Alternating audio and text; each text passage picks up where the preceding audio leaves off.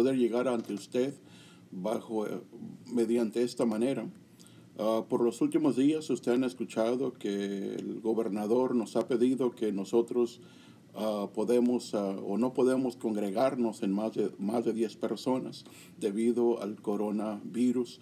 Y es por eso, hermanos, que estamos llegando ante ustedes mediante este medio y qué gran bendición poder nosotros congregarnos mediante el Internet y así poder animarles a que sigamos adelante.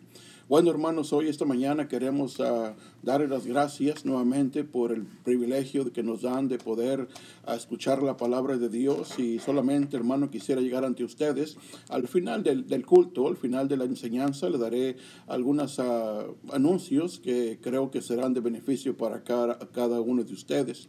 Mientras tanto, hermano, quiero que abran, que abran su Biblia en Salmos 91, versículo 1. Salmos 91, versículo 1. Dice la palabra de Dios, el que habita al abrigo del Altísimo morará bajo la sombra del Omnipotente.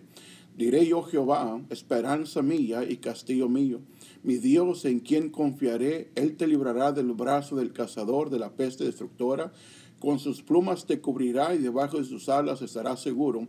Escudo y adarga es su verdad. No temerás del terror nocturno, ni saeta que huele de día, ni pestilencia que ande en oscuridad, ni mortandad que en medio del día destruya.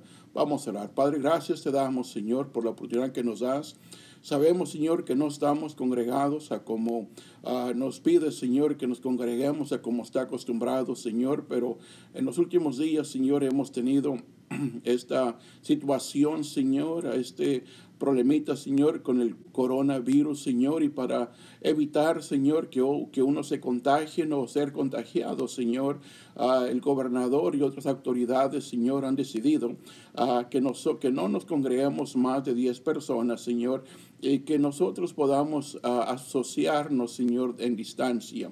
Y es por la razón, Señor, porque nosotros hoy, esta mañana, estaremos por internet enseñando y predicando tu palabra, tratando de animar, Señor, a cada hermano que nos escucha hoy, esta mañana. Ayúdanos y bendícenos, Señor, y lo pedimos en el nombre más precioso, en Cristo Jesús. Amén y amén.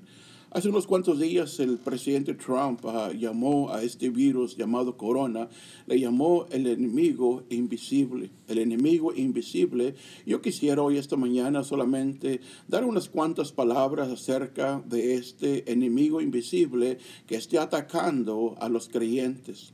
Es una de las cosas, hermano, que nosotros podemos tener la seguridad de que Dios nos ama, de que Dios está con nosotros. Y este Salmo 91, ah, vamos a, ver algunas cosas, no vamos a ver versículo por versículo, pero sí quiero animarles a que podamos a, tomar algunos puntos de este, de este Salmo para así nosotros poder seguir adelante acerca de este enemigo invisible. Ahora quiero que vean que primeramente el salmo comienza con palabras de seguridad. Ah, el Señor mediante el sacerdote o el salmista ah, nos, da un, mensaje de fortaleza y auxilio a su pueblo. Aquí vemos el versículo 1 es el que habita al abrigo del Altísimo.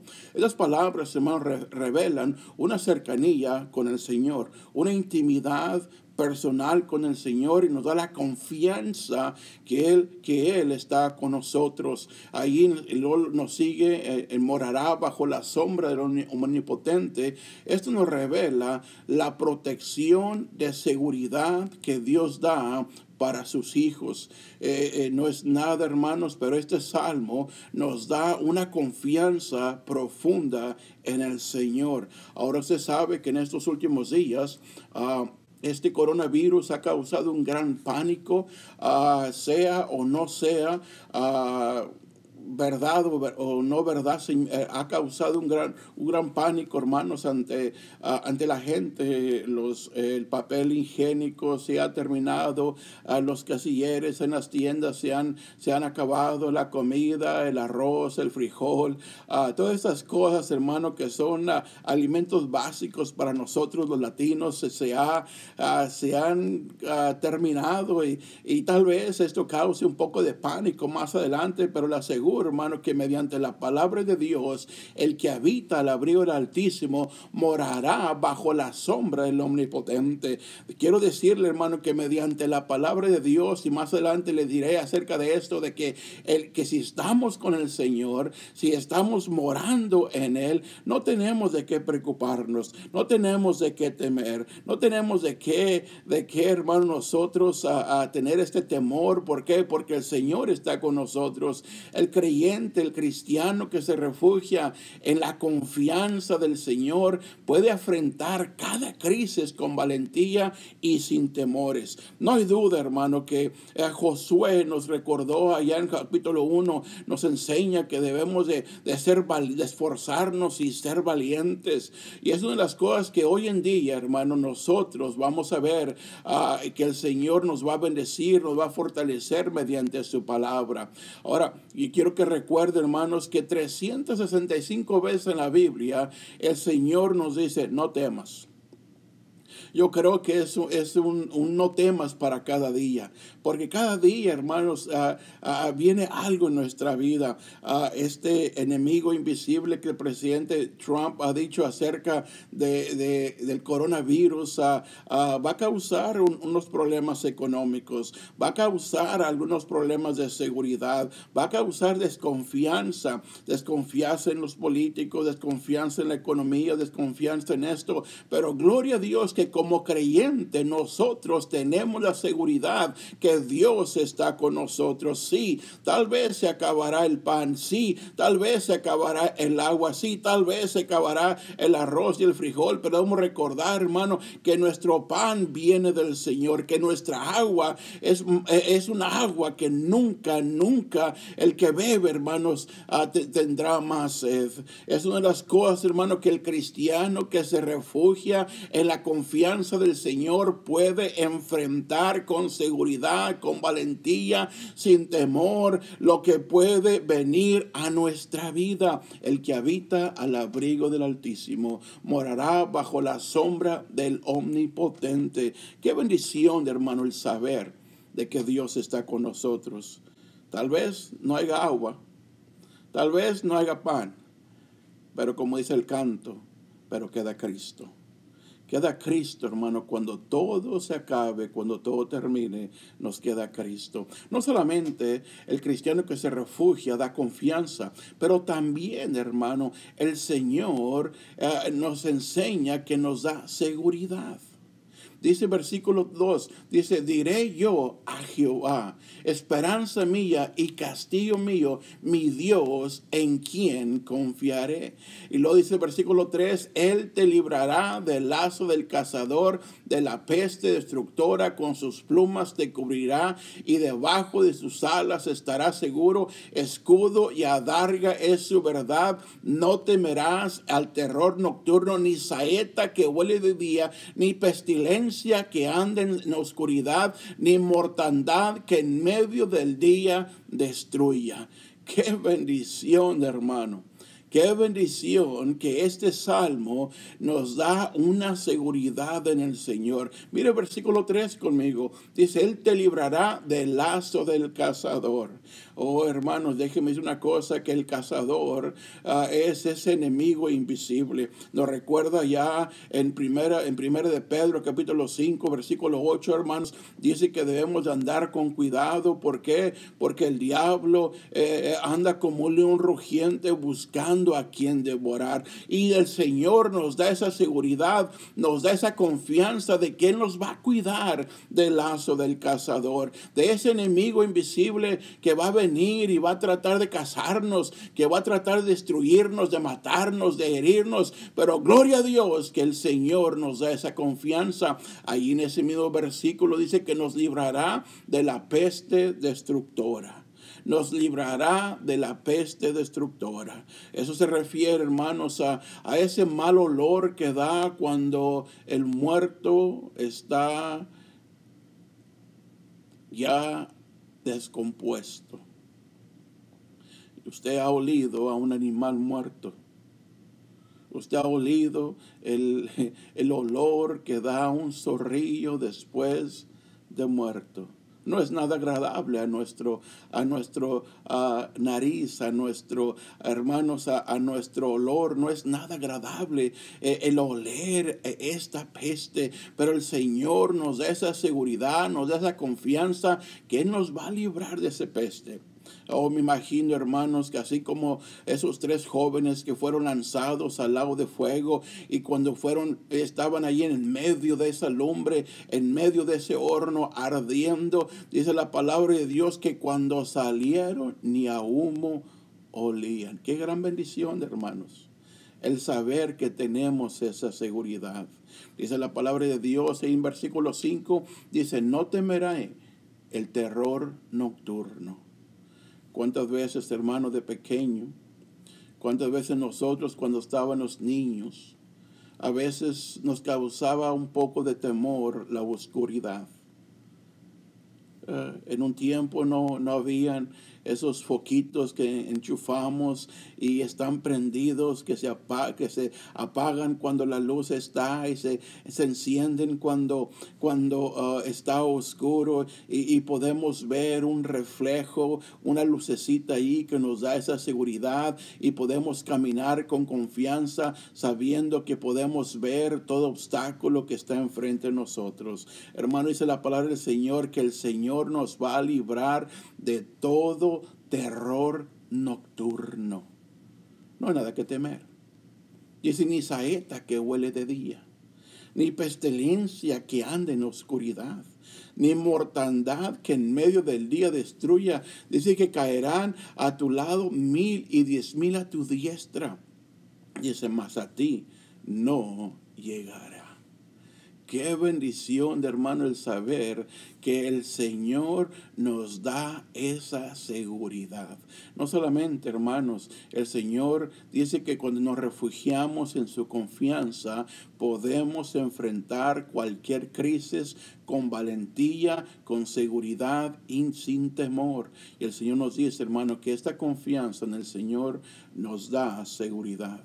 Usted se preguntará, pastor, ¿por qué, ¿por qué nosotros tenemos esta seguridad? ¿O qué basa esta confianza? Confianza, esta inseguridad. Déjeme decir, hermano, que basamos nuestra seguridad en el Señor o en su palabra.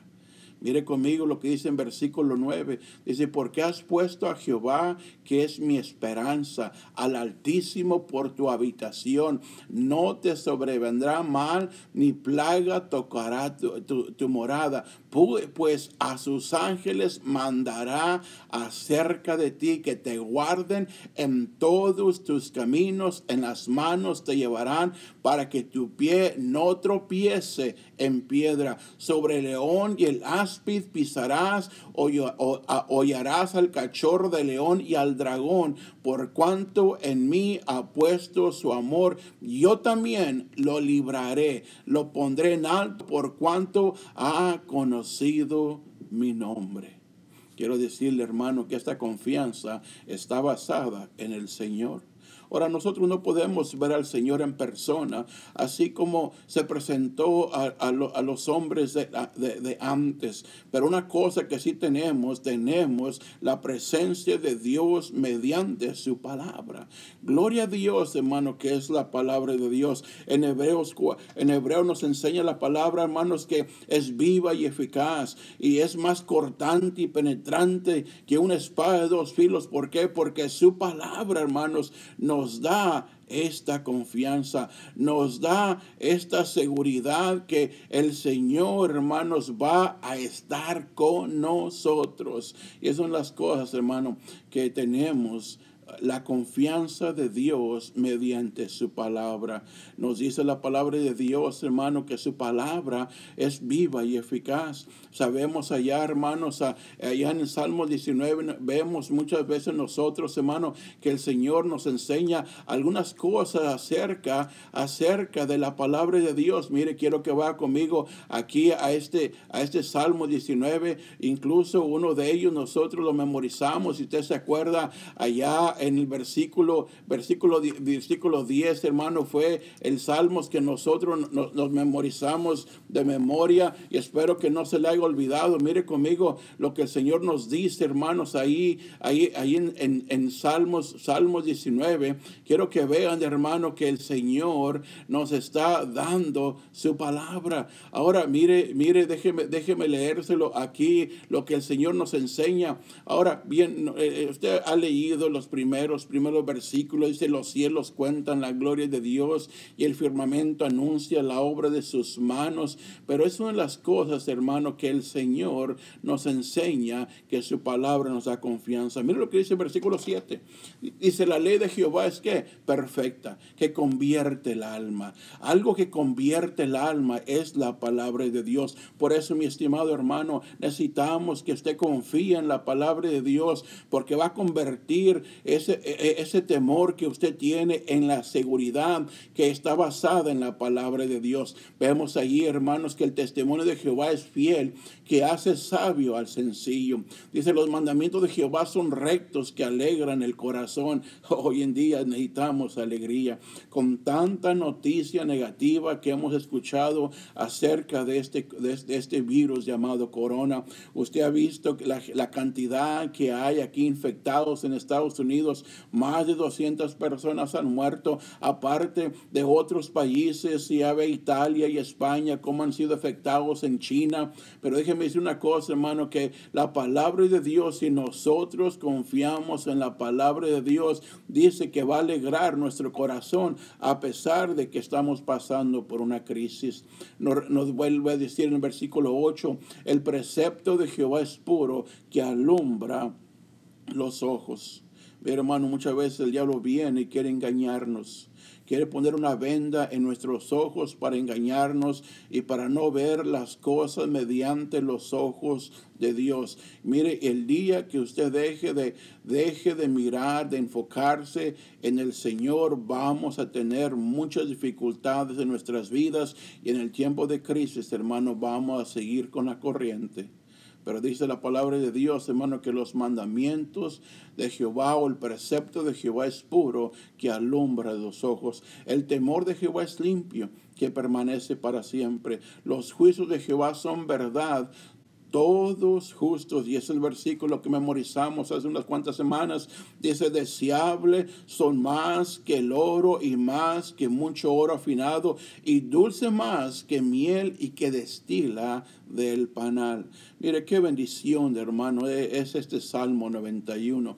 Qué bendición es el poder encontrar, hermano, la, confianza en la palabra del Señor. Y yo lo animo, mi estimado hermano, que usted vaya a la palabra del Señor y usted encuentre uh, esos versículos y, y, se memorice, hermanos, que medite. Dice el que habita el abrigo del Altísimo, morará bajo la sombra del Omnipotente, hermano. Y dice, dice Dios, dice, y diré yo a Jehová, esperanza mía y castigo mío, castillo mío, mi Dios en quien confiaré. Es el Señor, hermanos.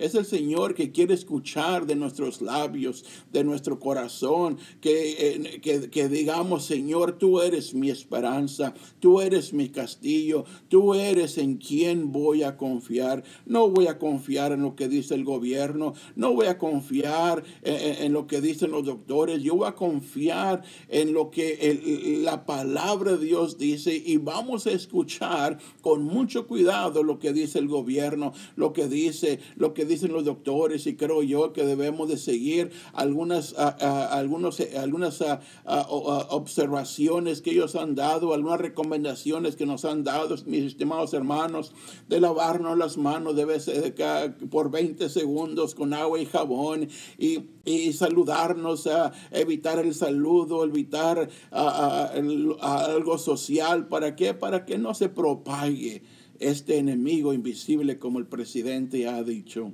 Pero mire, mi temor es este de este enemigo. Lo, yo jamás pensé, pensé, hermanos, que iba a estar detrás de una cámara enseñando y predicando.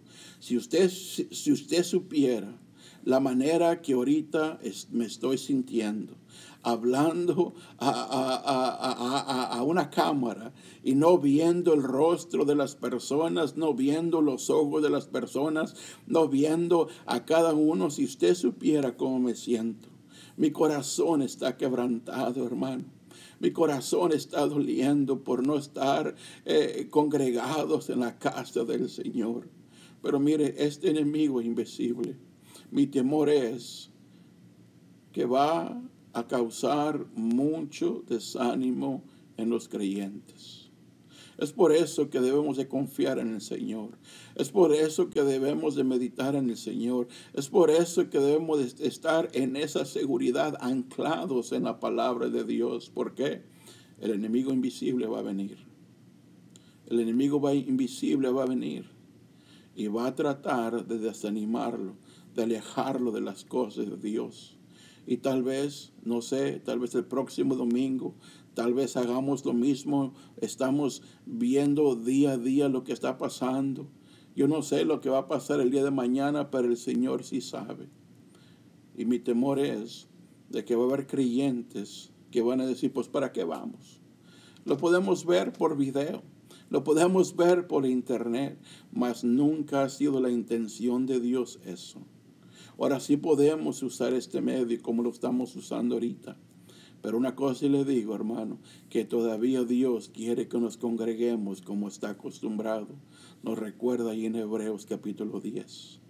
Este enemigo invisible va a tratar de enfriarnos espiritualmente va a tratar de apagar ese fuego que hay en su corazón. Y mire, este enemigo invisible puede también afectar a otros. Es por eso, hermanos, que no debemos de descuidar nuestro estudio bíblico. Es por eso que no debemos descuidar el leer la Biblia. Es por eso que no debemos descuidar nuestra oración. Es por eso que no debemos descuidar de hablarles a otros de Cristo. Es por eso que no debemos descuidar de, de ayudar todavía a la obra misionera, todavía a acordarnos de Dios en nuestros diezmos y nuestras ofrendas. Y es mi temor que este enemigo invisible muchos corazones se van a apagar con la excusa de que este coronavirus ha afectado espiritualmente. Y mire, mi estimado hermano, es triste que nosotros podamos llegar a esto. Mucha gente va a morir y va a ir al infierno porque usted y yo vamos a descuidar lo que Dios nos ha dicho. Y mire, tal vez usted que no está, que no, no tiene esa seguridad que si usted muere va al cielo. Hoy, esta mañana, usted puede tener esta seguridad. Dice la palabra de Dios que Él quiere salvarlo. Y mire, es muy sencillo. Dice la palabra de Dios que debemos de saber algunas cosas. Primeramente, usted debe de entender que usted es un hombre pecador. Dice la palabra de Dios y por cuanto todos pecaron y están destituidos de la gloria de Dios. Romanos nos enseña eso. Dice la palabra de Dios que hay una paga para el pecado. La paga del pecado es muerte. Dice, dice porque la paga del pecado es muerte. Pero gloria a Dios, hermanos, que el Señor tomó nuestro lugar en la cruz del Calvario para pagar esa deuda del pecado. Dice, más la dádiva de Dios en, es, es, es, vida eterna en Cristo Jesús. Romanos 6:23. Dice, más la dádiva de Dios, más la dádiva de Dios es vida eterna en Cristo Jesús. Mi estimado oyente, tal vez usted no conozca a Cristo como su Salvador y mire, tal vez usted hoy, esta mañana, usted reconoce que es pecador. Usted entiende que hay una paga para el pecado. Pero hay un sustituto llamado Jesucristo que murió en la cruz por usted. Usted puede aceptarlo hoy esta mañana. Usted puede pedirle a Cristo que entre en su corazón. Mire, voy a, a orar con usted si usted gusta. Tal vez aceptar a Cristo como su Salvador ¿por qué usted no orará esta oración con, conmigo? Muchas veces he orado una, algo similar a esto. Incluso yo oré esto hace, hace más de 30 años que le pedí a Cristo que entrara en mi corazón. ¿Por qué no ora conmigo esta oración para ser salvo, diciendo así, Señor Jesucristo, yo reconozco que he pecado, mas hoy este día vengo pidiéndote perdón. Me arrepiento de mi pecado, Señor. Entra en mi corazón, sálvame como la palabra de Dios dice entra en mi corazón en Cristo Jesús. Amén y amén. Esa es la palabra de Dios que si usted oró de esta manera o similar, esa es la palabra de Dios que Él es fiel y Él lo ha perdonado de su pecado. Que si confesares con tu boca y creyeres en tu corazón que Dios levantó los muertos, dice el Señor, que será salvo. Dice, porque todo aquel que en Él cree, dice la palabra de Dios, que será salvo hoy, si usted aceptó a Cristo como su Salvador, ¿por qué no nos llama por teléfono?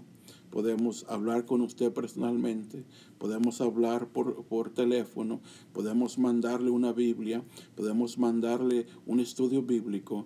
Ah, en unos cuantos minutos nuevamente le voy a dar mi teléfono y mi dirección para que usted pueda ah, llamarnos o, comunicarse con nosotros esperando en el Señor que usted haya aceptado a Cristo. Mi estimado hermano, usted que viene a nuestra iglesia, que usted ha escuchado la palabra de Dios domingo a domingo por más de 20 años, déjeme una cosa, que el Señor lo ama. No permita que este virus llamado corona sea el enemigo invisible que lo desanime, que lo aleje de Dios. Acérquese más a Dios. Ame más a Dios. Siga adelante no se desanime. Y mire, nuevamente, ah, hoy esta tarde, a las seis de la tarde, estaremos trayendo otro mensaje para que usted se anime en el culto de la noche. Quiero agradecerle eh, y hermanos, gracias nuevamente. Mire, uh, todavía puede llamar a mi teléfono al 956 ah, discúlpeme, ese no es mi teléfono, ese es el teléfono que tenía en Texas, al 615-615-394-5476. 615-394 5, ya hasta se me olvidó, 394-5476. Como muchas veces no me hablo, nunca me he marcado yo para llamarme, hermanos, pero comuníquese conmigo. Ah, puede hablarme todavía al 615-394-5476. Hermanos, estaré orando por ustedes. Dios me los bendiga y nuevamente hoy a las 6 estaremos dando otra enseñanza, otro video. Y más adelante, hermanos, tal vez durante la semana ah, les mandaremos un enlace, un link para que usted ah, se pueda conectar y tengamos algunos uh, devocionales para durante la semana. Y si algo podemos ayudarle, no se olvide marcarme. Todavía estamos a la orden, todavía estamos en la iglesia, no hemos dejado de trabajar, no hemos dejado de testificar, todavía estamos sembrando la palabra de Dios. Ayúdenos a orar unos por otros. Dios me lo bendiga, hermanos, y Dios mediante nos vemos uh, esta semana o cuando podamos verlo de acuerdo a lo que está sucediendo cada día. Dios lo bendiga, hermanos, que tengan una buena semana.